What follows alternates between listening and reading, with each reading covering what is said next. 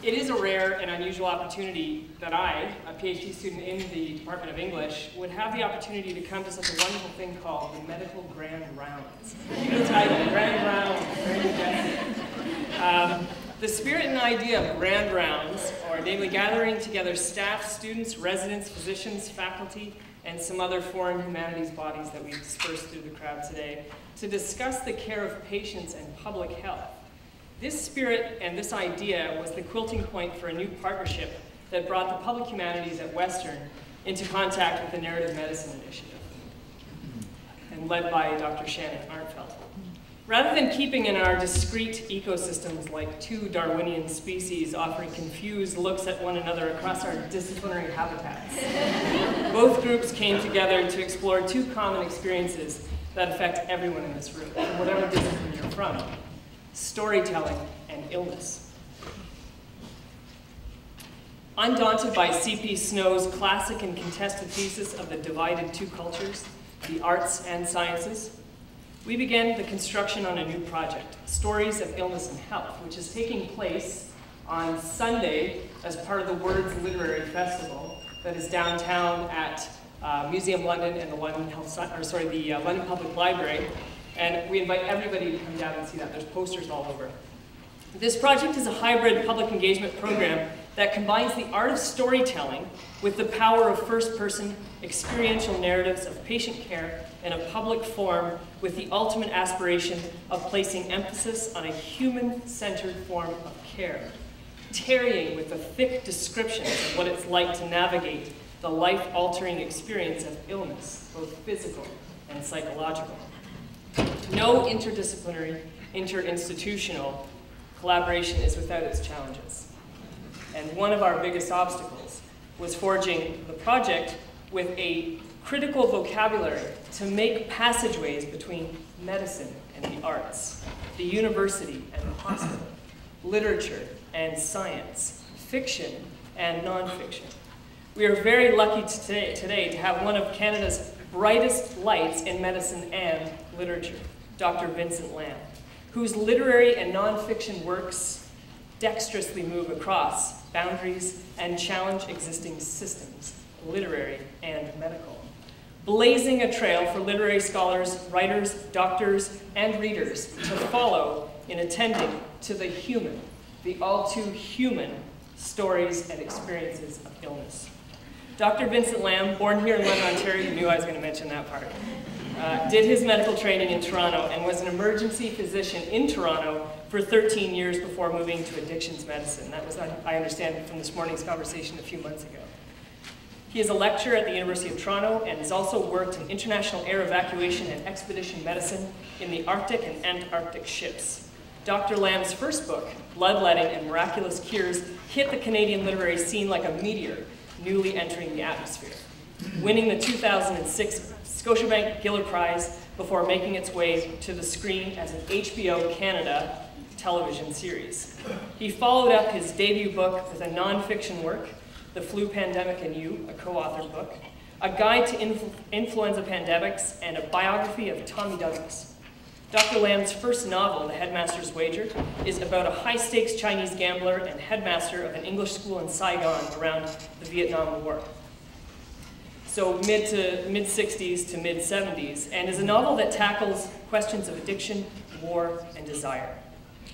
It's interesting to note that Vincent began this work inspired by his, in part by his grandfather, before writing Bloodletting and Miraculous Cures, but set it aside to return to it later when he felt prepared to tackle the emotional depths of this story.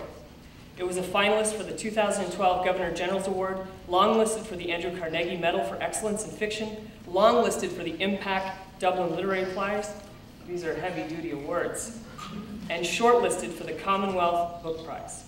It's a formidable list of achievements. Please join me in welcoming Dr. Vincent.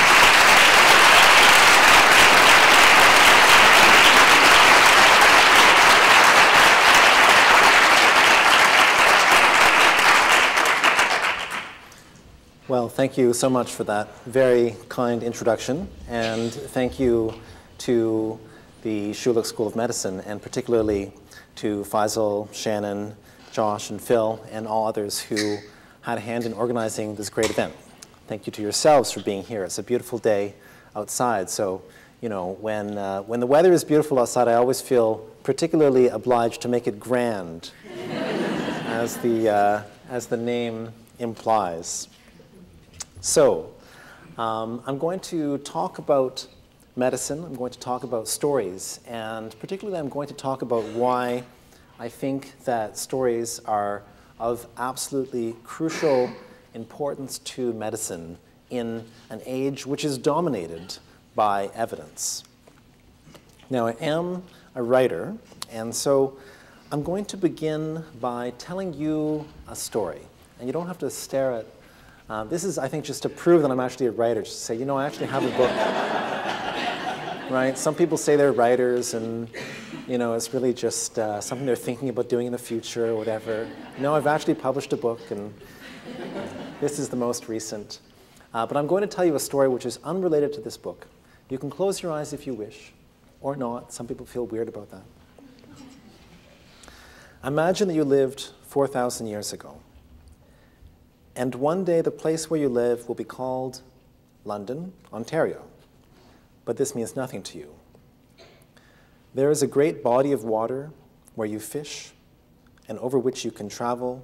Your people travel from season to season from one place to another to gather plants, to track and hunt game. One evening, you are rushing through the dusk to reach the safety of your camp and its fire.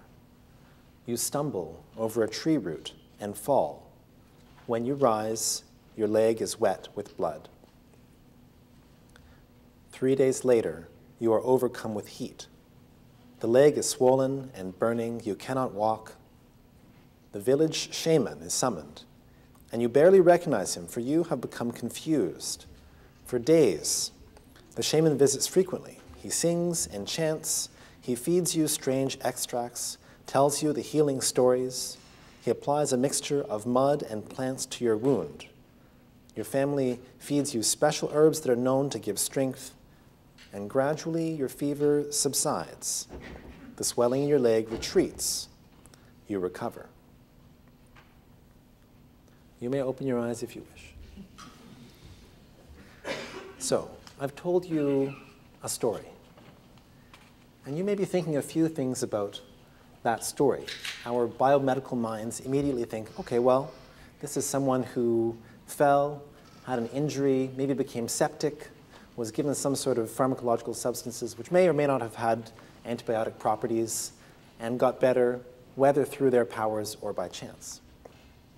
Now, of course, the academics and administrators amongst us will say, this is egregious. The shamanic practitioner was clearly not accredited by the college. there was no evidence base for this treatment. Undoubtedly, there were, there were no trials, certainly not double blind RCTs.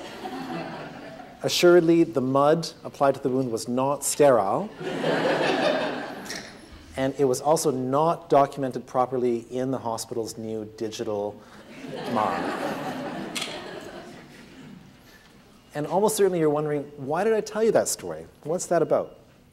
Well, as I said, I'm a doctor, I'm a writer, so I work with medicine and I work with stories, and I've given you this, albeit fictional, ancient narrative of illness and healing just for you to mull upon, tuck it away in the back of your mind, and I'll come back to it. It's part of what I'm trying to do, which is to shift your perspective slightly on what it is that we are doing in medicine and what we are doing with stories. Now, I'm going to make the case that what we do as doctors and as nurses and as healthcare providers is fundamentally about narrative and story. And certainly, I think we should always ask ourselves the question, why is it that we do what we do? When we are teaching our medical students and residents, we should ask ourselves, what exactly is the purpose of this profession. I hope this is not it. It's just a simple operation, routine, boring, only doing it for the money. I really hope that's not it. Now, certainly, I think that we all sometimes crave for things which are simple. We would like things to be linear sometimes. You know, problem A leads to solution B, which inevitably leads to favorable outcome C. But some of medicine is like that, and lots of medicine is not like that. This is how I felt when I was accepted into medical school. Ta da! The dream. Some of you have had that experience. You know, butterflies will fly into the sunset, it'll be amazing. I thought, oh, this is fantastic. I will enter a world of the clear diagnosis, the omniscient doctor, perfect treatments for every condition. Eh. not so much. The reality is that sometimes diagnoses are unclear. We are certainly not omniscient. And the reason that we have the concept of the NNT, or the number needed to treat, is that sometimes you have to treat a few people in order for someone to get a benefit. Now, certainly, we do live in an age in which we can understand these concepts to some degree because we live in an age of evidence. We live in an age of information. Information is what we trade on and what we use. It also exists hand in hand with our digital age, in which information comes to us in many forms. I think we can all attest that while the digital age brings information and evidence to our fingertips, it can be distracting and uh, you know, we've all heard of surgical checklists. It might be that one of the checklist items should be to turn off all your pagers and cell phones during procedures. Because sometimes we're very, very busy. Sometimes there's a lot going on with all this information and the digital world constantly assailing us. And this is part of why I think that we need stories in this age of evidence to help make sense of what's going on, to remember what it is that we're doing and why we're doing it. So I'm going to try to convince you that in teaching medicine and in practicing medicine, we are teaching a story and practicing a story. I am going to make the case that the modern medical narrative, which we know quite well, is powerful, and also that to be a really great doctor, doctors must work with human stories in addition to evidence. There's no disrespect intended towards evidence. So, in teaching medicine, we, we teach a story.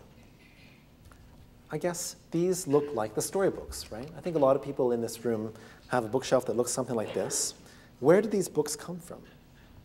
Ultimately, the lineage of these works is from the great medical educators who came before us, the great educators who wrote these books, gave us our great books, our Bibles, if you will, and we are part of that heritage. Now, I'm going to give you a complete history of medicine in the next five minutes.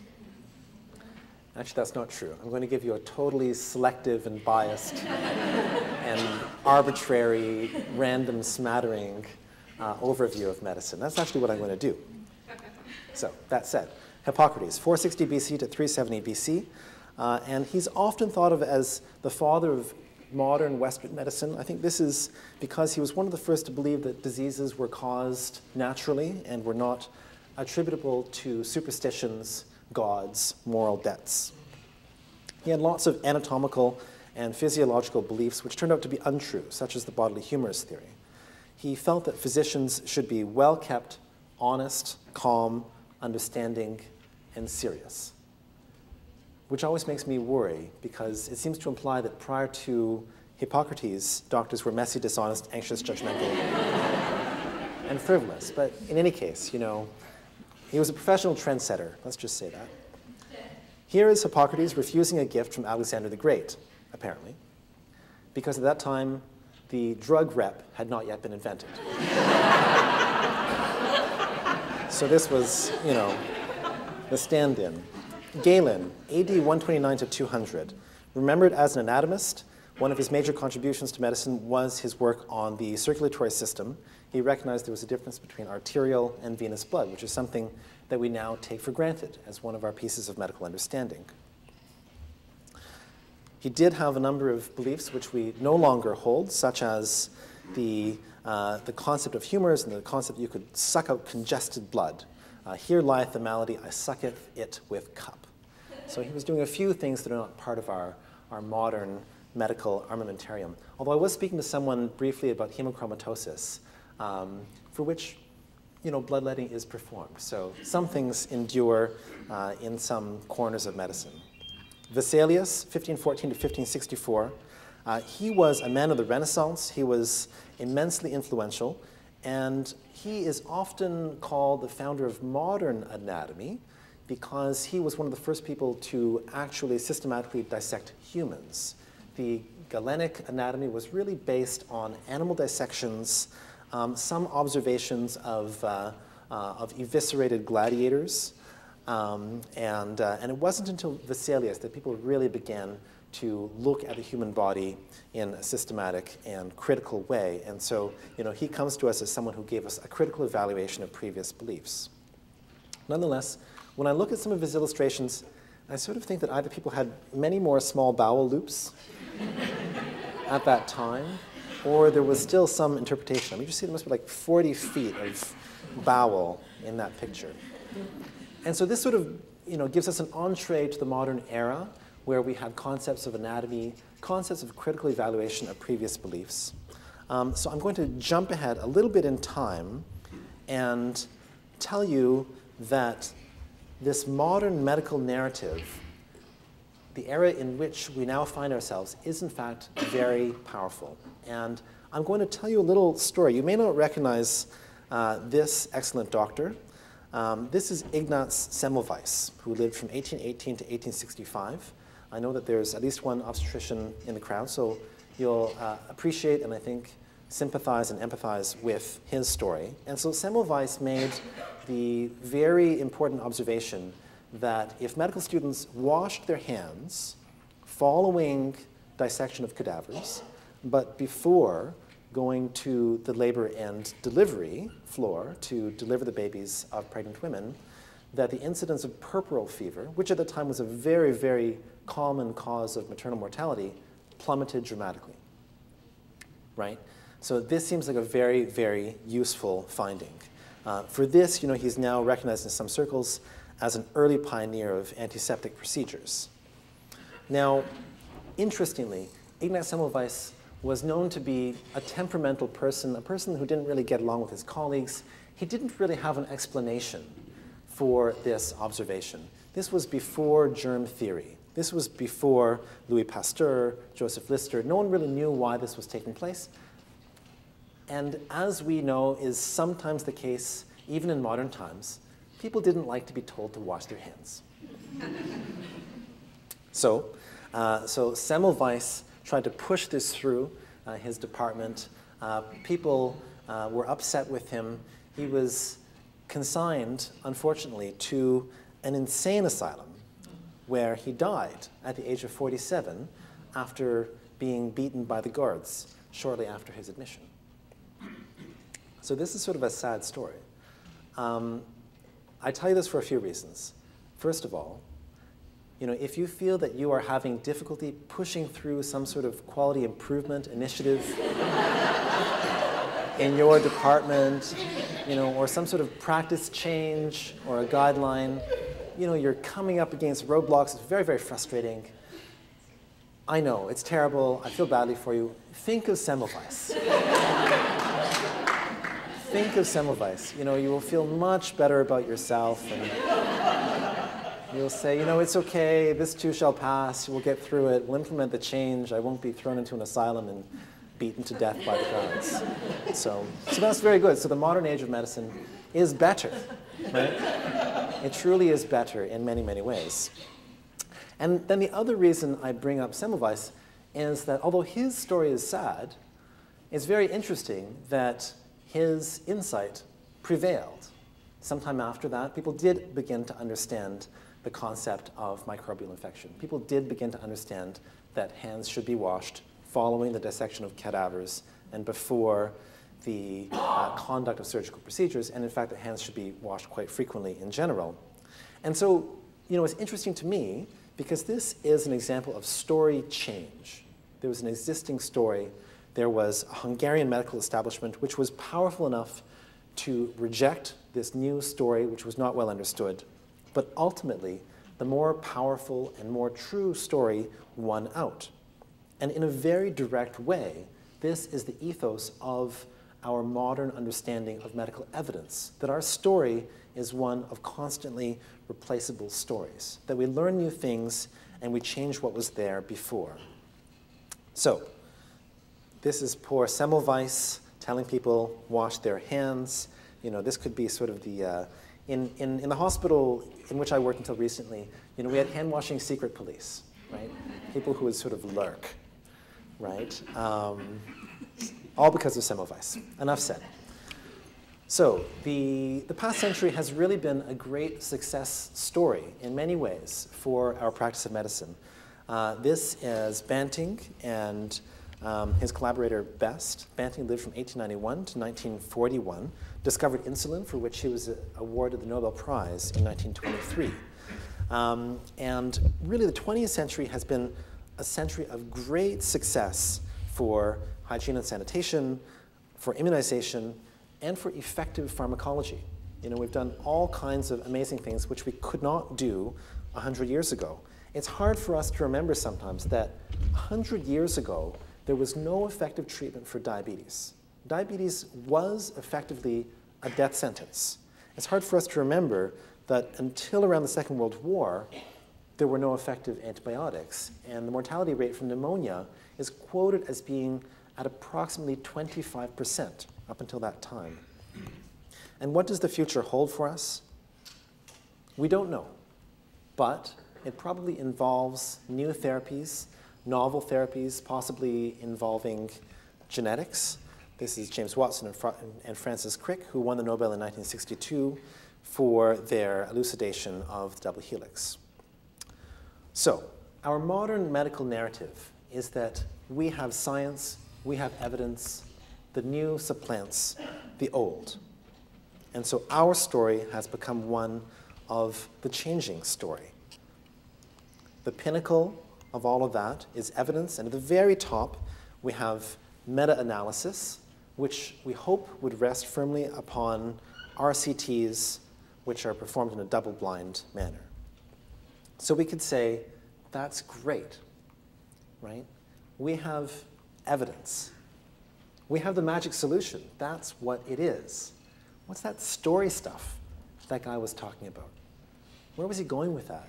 Why exactly do we need stories? You know, we can just get the numbers, right? Well, maybe. First of all, it's a lot to carry around. You know, that big pyramid full of studies and data and all that stuff, you know, it's, it's very, very heavy stuff. Um, so thank God we have uh, smartphones and iPads and tablets so we can carry all the stuff around so we don't get sore backs. We don't have digital textbooks. You know, when I was a medical student, I used to distribute the books evenly between my right and my left pocket, you know, so that my lab coat wouldn't go askew as I was wandering around the hospital. Now it's just all in your smartphone, right? It's all there. So we have evidence. That should be enough, right? Home free. Well, maybe, maybe not. So I look at emergency medicine, and interestingly, in 1999, someone did a, a systematic review of the proportion of treatments in an emergency department in Sheffield, England, which were actually evidence-based. Interestingly, they found that you know, about 18% of the things that emergency docs in Sheffield were doing were actually evidence-based you know, 32% were sort of self-evidently useful. I think that falls into the category of things like reducing shoulders that are dislocated, for example, self-evidently useful. You're not going to do a trial to, to figure out whether that's good or not. 28%, um, no evidence. 22% of the stuff that they were doing, I mean, not in my department, of course. but apparently in this department, you know, 22% of the stuff, there was evidence they really shouldn't be doing it, but they were doing it anyways. So you could say, oh, these are terrible. These are emerge docs. What do they know? You know, a bunch of ignoramuses. You know, never mind them. The rest of medicine is evidence-based, and it's great, right? Hmm, maybe. In 07, a systematic review of over 1,000 Cochrane reviews found that, well, you know, 44% of the Cochrane reviews, which you're familiar with, interventions were thought to be likely beneficial. 49% of reviews found that, well, the evidence, you know, was kind of neither here nor there. In 96% of reviews, there was a recommendation for further research. We're not quite as smart as we think we are. And certainly if we want to stand solely on evidence, we're not quite there yet.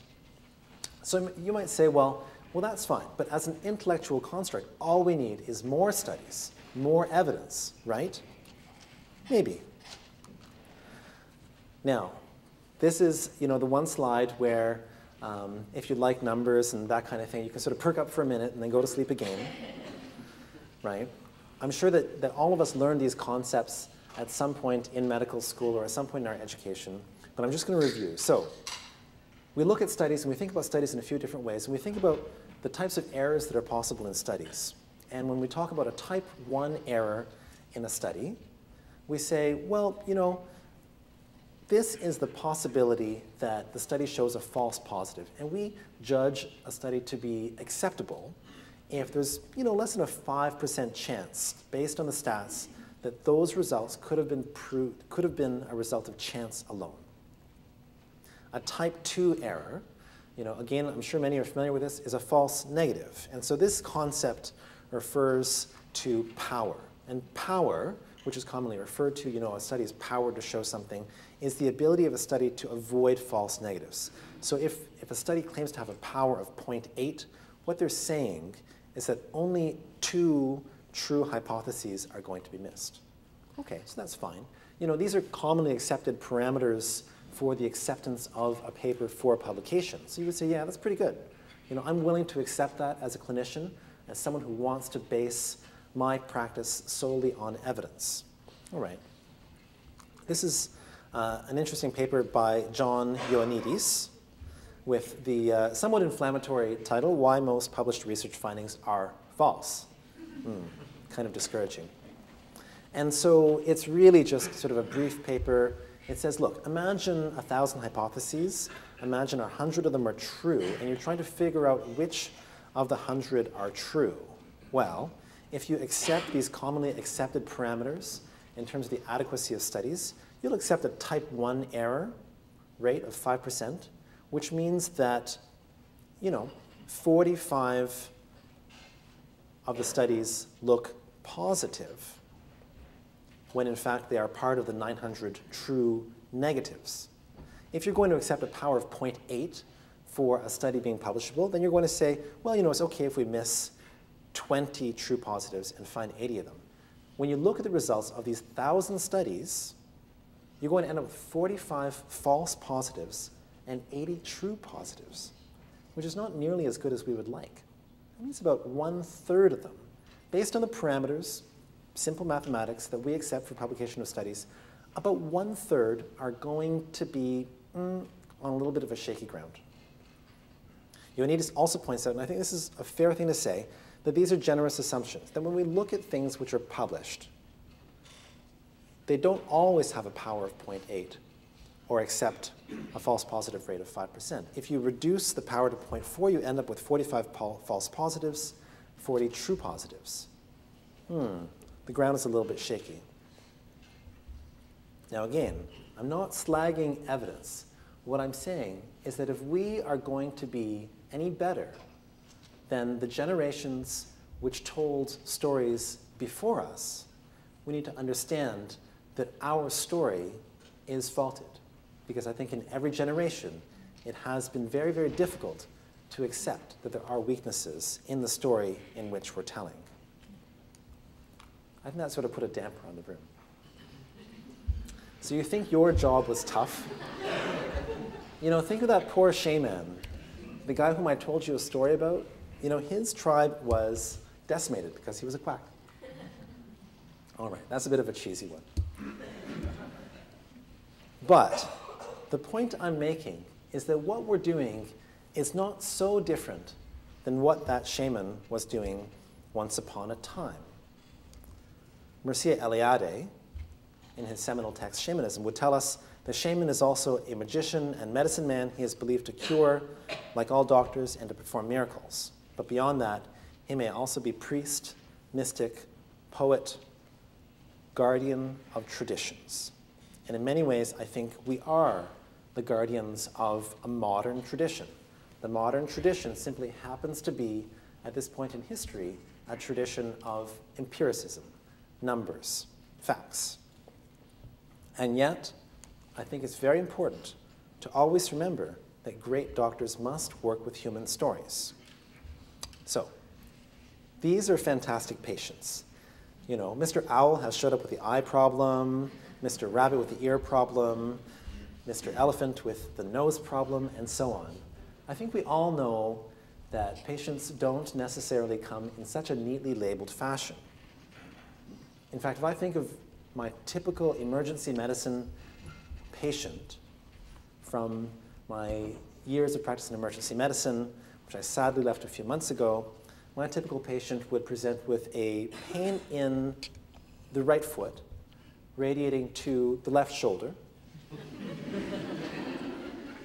along with seeing stars in conjunction with a rash. right? That would be my typical emergency medicine patient. I think anyone in primary care or emergency medicine would say, yeah, that's the way it goes.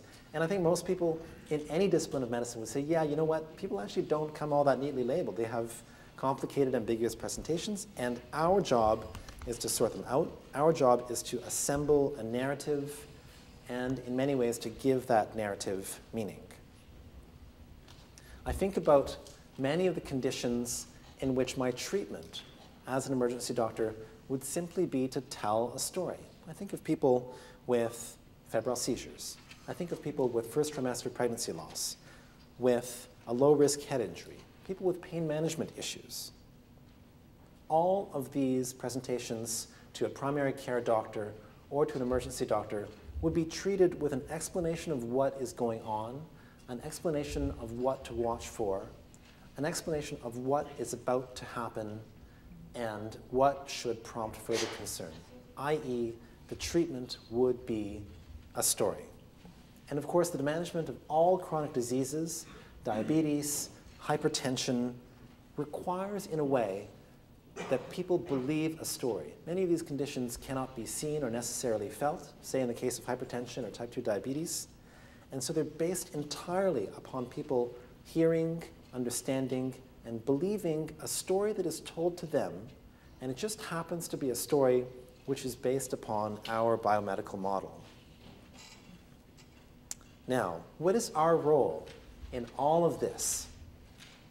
I mean, it's often said that we live in an information age, but really what is never said is that we live in an age of high quality information. It's very common, you know, someone comes to you, they've always, they've Googled it already, you know, doc, I think I've got this, I just want you to give me such and such prescription, right?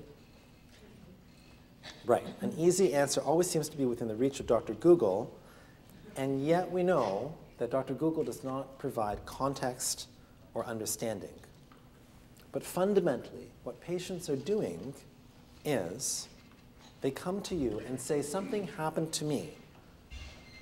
And what they want to know is that someone professional, someone who's knowledgeable, heard their story, used their special knowledge and tools to explain the story, and someone told them what happened next. I think all of us have had the experience of hearing from a patient who says, Yeah, yeah, you know, I went to Dr. So and so. And yeah, Dr. So and so didn't tell me anything. They just gave me this prescription and said, Go.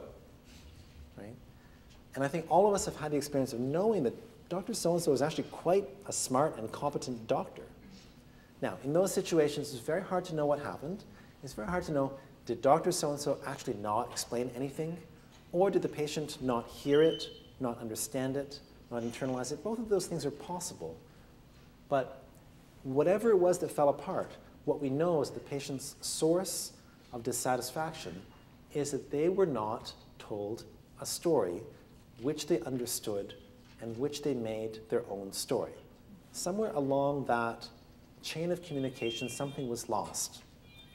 And then you have an unhappy patient who says, Yeah, I saw Dr. So and so, and they didn't tell me anything. They just, just gave me this prescription, which might be appropriate, but which might not be complied with because it wasn't explained, or the explanation wasn't heard, or was not understood.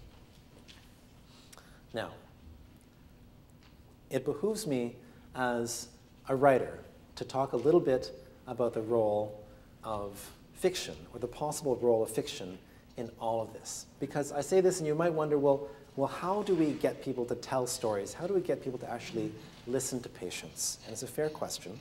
And I think that this is not the only answer. I think You know, medical training comes with training in listening, comes with training in empathy, and these are all vital components of our professional education. It turns out also that there's actually evidence that literary fiction promotes empathy. And this is a paper which was published in a small little journal that you may have heard of, Science, in 2013. And it's interesting, they actually exposed people to, and I find this fascinating, to literary fiction. Um, so difficult, big books that you had to read in school, as well as popular fiction, right? Those are books that you buy in grocery stores. Um, and, you know, that's a broad generalization, of course, uh, and nothing at all. And found specifically that reading literary fiction improves people's performance on these tests called theory of mind. Now, theory of mind is this sort of academic concept which refers to people's ability to understand each other's mental states, uh, thereby enabling complex social relationships within human society. In other words, you know, is very close to the way that we would think about empathy. So it may, in fact, be that reading tough, difficult, challenging books is good for us as doctors and as healthcare practitioners. Now, certainly, I think this is not what patients want. Patients don't want to, uh, to check their symptoms online and uh, then to have someone just come back later for a diagnosis and care plan. That's not what they want at all. Patients want the science which is available to them and to us, and patients also want to know that they have been treated with dignity and with respect and with someone who's living an individual story, which is perhaps why Jerome Groopman tells us that statistics cannot substitute for the human being, and statistics always embody averages and not individuals. Now, this is a glass of water. As I said, we live in, a, in an empirical age. If you buy water, it will contain 500 milliliters in a bottle, or a liter, or two liters, depending on what size of bottle you buy. But the real question that you're asking when you buy a bottle of water is will it satisfy my thirst? We know the distance that it will take us to travel, say from Toronto to London and London to Toronto. But the real question that we're asking is Am I going to get there well rested? Or will I arrive tired and frustrated because of traffic or weather or some other issue? We may ask ourselves when I get to Toronto, will I like the, when I, will I like the city that I find? Am I going to have a good time? We have an empirical map that will show us our way around, but it may not be what we're actually asking. When we prescribe a statin or a hypertensive medication, yes, there are a number of milligrams on it. There is a published side effect profile. What people really want to know is what is this going to mean for my risk of dying from a myocardial infarction or from some other preventable cause? Many things are like that. There's an empirical measure and there's a story which underpins it. When we want to reduce wait times, what we want is that people do not believe that we have forgotten about them in some sort of waiting room or some sort of queue.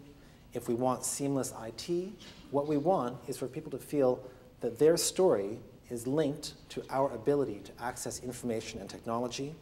If we want to ensure evidence based practice, which we should, we want people to know that they are receiving the most up to date, current information possible, while we also have to recognize its limitations because having the best of the available knowledge is part of the desire of a 21st century person. It's part of our current story. We live in a world that's absolutely overflowing with information, and that information is of highly variable quality. And so, in this world, the single most important and challenging question, I think, patients ask us as healthcare providers and as doctors is okay, so this is what's going on, this is what you're prescribing. What will this mean to me?